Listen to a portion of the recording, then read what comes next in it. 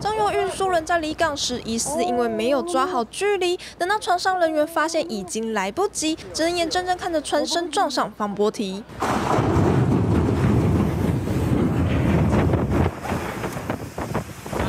强大的撞击力道直接发出巨大声响，船员们亲眼目睹这一幕也相当傻眼。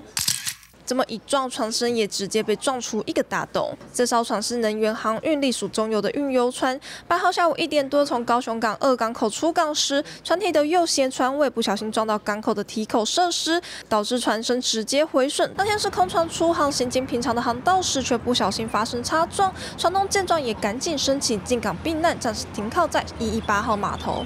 该轮进港作业期间无发生漏油及油污等事等情事。另外，确保港区环境及安全，高雄港务分公司要求该船及船代于靠泊期间应注意下列事项。高雄港要求船体周边设置燃油锁等设施，避免船身漏油。不过，运油船才刚出航，却发生撞击意外，好在没有人受伤。但是，船体受损后续维修不是一笔小数目，港区堤防的受损也要负起责任。高雄港后续会进行调查，对团东索讨相关赔偿。记者刘库陈胜一场报道。立刻下载“金新闻 ”App，一手掌握新闻时事，尽善尽美，尽好新闻。